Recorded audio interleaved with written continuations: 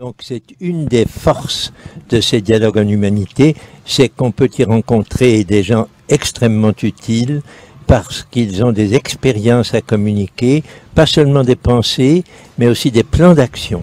Et je pense que nous avons besoin d'expérience, bien sûr. Nous avons besoin de personnes ayant une riche expérience de vie, c'est merveilleux, mais aussi de gens qui sont prêts à s'engager ensemble pour obtenir des résultats.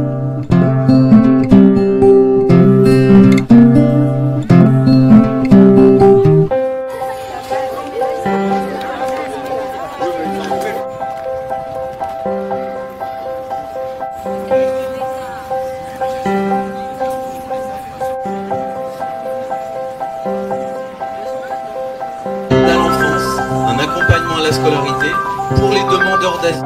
Comment est-ce qu'on pourrait euh, exercer aussi sur le niveau régional et puis après se poser la question ensemble du niveau national?